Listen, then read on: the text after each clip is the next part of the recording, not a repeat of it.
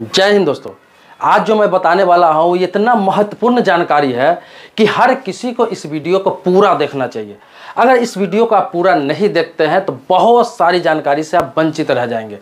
मैं आपको आज बताने वाला हूँ कि कोई व्यक्ति घर से बाहर रहता है जैसे दिल्ली, मुंबई, कोलकाता, चेन्नई कहीं भी रह के कमाता है तो बाहर में कमाने जाता है जो गाँव में रहते हैं, बिहार के लोग, यूपी के लोग, वेस्ट बंगाल के लोग, झारखंड के लोग, उत्तराखंड के लोग, इन सभी जगहों पे उड़ीसा के लोग तो बाहर कमाने ज़्यादातर जाते हैं। तो जाते हैं, बाहर कमाने तो होता क्या है कि गाँव में घर को बंद रखते हैं। बंद रखते हैं या फिर किसी को देख रेख के लिए दे देते हैं। इसके अलावा मैं बता रहा हूँ कि जो बड़े लोग भी होते हैं, जिनके पास घर होता है बड़ा बड़ा बंगला होता है तो वो भी किसी को देख रेख के लिए देकर कभी विदेश चले जाते हैं, कभी जॉब करने जाते हैं और छः महीना, एक साल पर घर वापस आते हैं।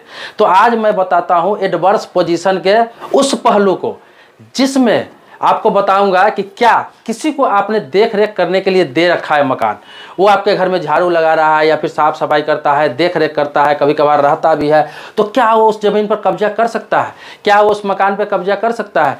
क्या वो उस मकान का मालिक बन सकता है? तो इस बात पर पूरा चर्चा करूँगा। अगर आपका यह काम का नहीं भी होगा तो आप किसी को राय दे सकते हैं, मशवरा दे सकते हैं, किसी को बता सकते हैं। बहुत ही महत्वपूर्ण जानकारी है। इस चीज़ को समझ लीजिए, इस कानून को समझ लीजिए। इस पर सुप्रीम कोर्ट का बहुत बड़ा फैसला आया है। अगर इस फैसला को आप जान लेते हैं तो आपको भविष्य में कभी भी दिक्कत नहीं आएगी। इस जजमेंट के आधार पर आप हमेशा अपने पक्ष में फैसला ले सकते हैं।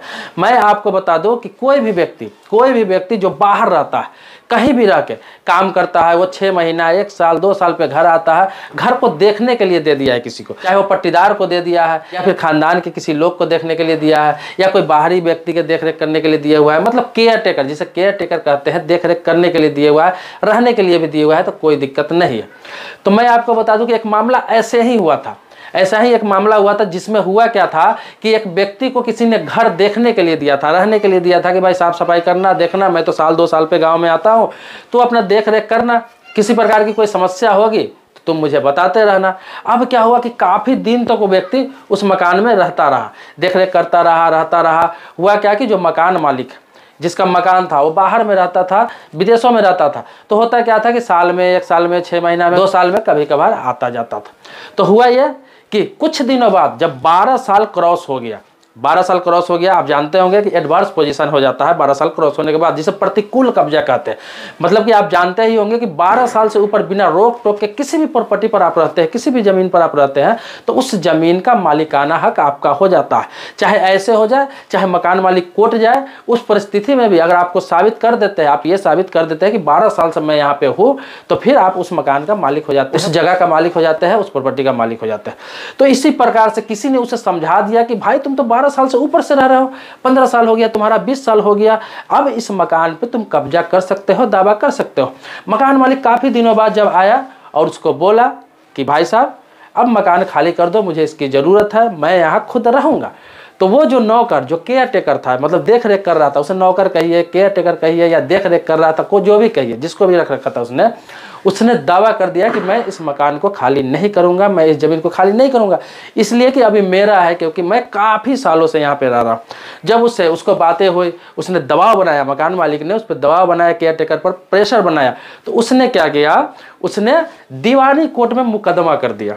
इस आधार पर मुकदमा कर दिया कि मेरा प्रतिकूल कब्जा है, मैं यहाँ पर काफ़ी समय से हूँ, ये प्रॉपर्टी मेरी ही हो जाएगी, इसका मालिक मैं हूँ। तो कोर्ट में चला, सत्र न्यायालय में मुकदमा चलता रहा चलता रहा देखिए। उस केयर टेकर के पक्ष में ही फैसला आ गया, क्योंकि उसने सारा प्रूफ वहाँ पे बना रखा था।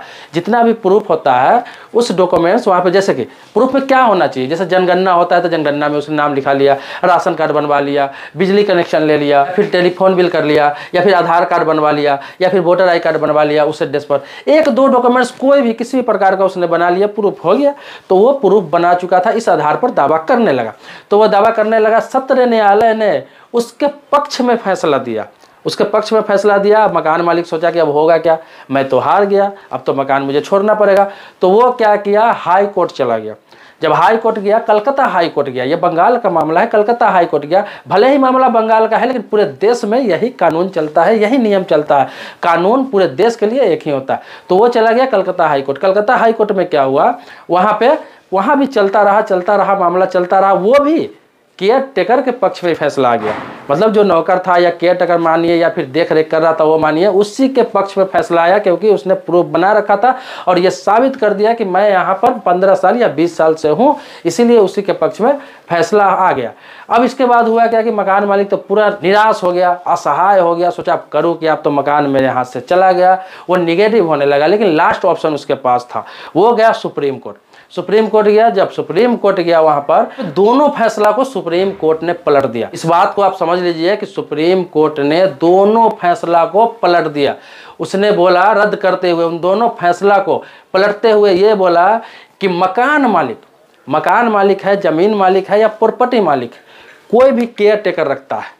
या फिर देख रेख के लिए रखता है, या खानदान के लोग को देखने के लिए दिया हुआ है, या पड़ोसी में किसी को देखने के लिए दिया हुआ है, या फिर कहीं बाहर के व्यक्ति को देखने के लिए दिया हुआ जो देख रेख कर रहा है, रह रहा है, नौकर के तौर पर केयर टेकर के तौर पर किसी भी प्रकार से, वो ज़मीन का मालिकाना हक कभी नहीं पा सकता है, चाहे वो 25 साल से ही क्यों ना हो 30 साल से क्यों ना हो 12 साल से ऊपर का तो बात ही नहीं है, कितना साल से भी हो नहीं कर सकता। क्यों नहीं कर सकता?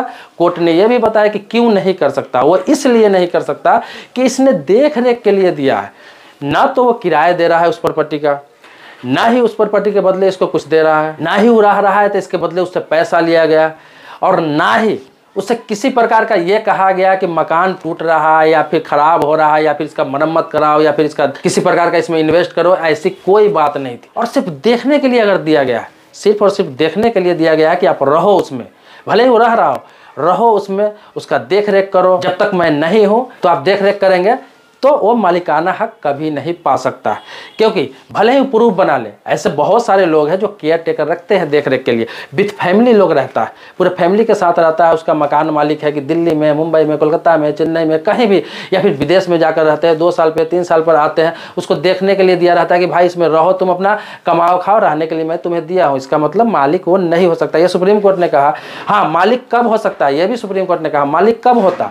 जब वो व्यक्ति जब वो व्यक्ति वहाँ पे बिना कहे, बिना इसको रखे वहाँ पे रहता, वहाँ पे अपना खुद से घर बना लेता या झोपड़ी बना लेता या कुछ भी बना लेता, टीन सेट का ही बना लेता, अब परमानेंट वहाँ पे कनेक्शन ले लेता या फिर कोई डॉक्यूमेंट्स बनाता और 12 13 साल 14 साल तक अगर वहाँ पे मकान मालिक उसे किसी प्रकार को नोटिस नहीं देता या फिर किसी प्रकार का दबाव नहीं बनाता या फिर उसे हटाने का कोशिश नहीं करता तो फिर मालिकाना हक होता है। वहाँ पे एडवर्स पोजीशन लागू होता है लिमिटेशन एक्ट वहाँ पे लागू होता है लिमिटेशन एक्ट का सेक्शन लेकिन मैं तो खुद रख के गया हूँ, मकान मालिक तो खुद रख के गया है वहाँ पर कि भाई तुम रहो, मेरी मर्ज़ी से रहो, मैं जब बोलूँगा तुम हट जाना, तुम देख रेख करो विथ फैमिली रहो, अपना कमाओ, खाओ, अपनी ज़िंदगी बिताओ, कोई दिक्कत नहीं है, लेकिन मुझे जब ज़रूरत होगी तुम हट जाना।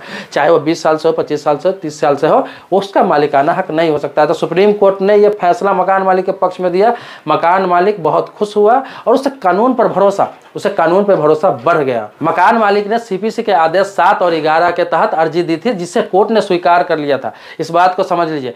कोर्ट ने लास्ट में कह दिया, सीधा कह दिया, फैसला देते हुए यह कहा कि तीन महीना के अंदर, तीन महीना के अंदर में केयर टेकर हो, नौकर हो, जो भी उस पर कब्जा कर रखा है उससे किसी भी हालात में मकान खाली करना है, ज़मीन खाली करना है, प्रॉपर्टी खाली करना है। अन्यथा उस पर कानूनी कार्रवाई किया जाएगा, उस ज़बरदस्ती जबरन हटाया जाएगा और उसको सजा भी हो सकती है, जुर्माना भी हो सकती है। तीन महीने के अंदर खाली किसी भी हालात में कर देना है। और उस व्यक्ति ने तीन महीने के अंदर उस मकान को, उस प्रॉपर्टी को खाली कर दिया। मकान मालिक के अंडर में फिर वो मकान आ गया।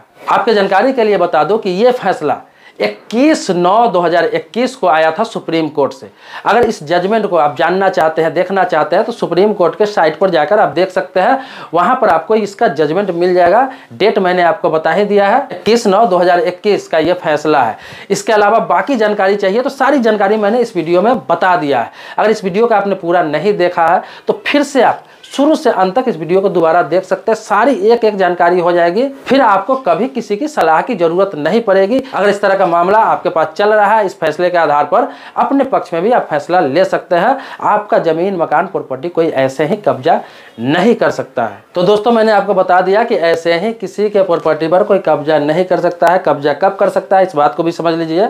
कि 12 साल से ज़्यादा किसी के ज़मीन पर कोई भी व्यक्ति बिना रोक टोक के झोपड़ी बना के रह रहा है, घर बना के रह रहा है। अगर उसने ये प्रूफ बना लिया है कि 12 साल तक मैं इस ज़मीन पर प्रॉपर्टी पर हूँ 12 साल पुराना उसके पास प्रूफ है तो वो दावा कर सकता है। अगर उस बीच में मकान मालिक किसी प्रकार का उसे नोटिस नहीं देता है मतलब प्रॉपर्टी मालिक किसी प्रकार का उसे नोटिस नहीं देता है, या फिर किसी प्रकार का कार्रवाई नहीं करता है, या फिर उसे हटाने की कोशिश नहीं करता है, किसी प्रकार का उसके पास प्रूफ नहीं है, अगर बिना रोक टोक के व्यक्ति है, अगर मकान मालिक आता जाता भी है, लेकिन कुछ बोलता नहीं है, सिर्फ़ समझा के चला जाता है, लेकिन लिखित रूप से उसे कभी नोटिस नहीं भेजा है तो फिर केस करने के बाद भी, मुकदमा करने के बाद भी 12 साल के बाद जो उस प्रॉपर्टी पर काबिज है वह दावा कर सकता है। उसको मालिकाना हक प्राप्त हो ही जाएगा किसी भी हाल में। अगर मान लिया जाए, प्रूफ ना भी है, मालिकाना हक प्राप्त ना भी होता है तो फिर दस साल, बीस साल, पाँच साल उसे कोर्ट का चक्कर लगाना ही होगा। फिर क्या फ़ायदा? इसीलिए आप किसी को अपने प्रॉपर्टी पर रखते हैं, ज़मीन पर रखते हैं, चाहे केयर टेकर रखते हैं, नौकर रखते हैं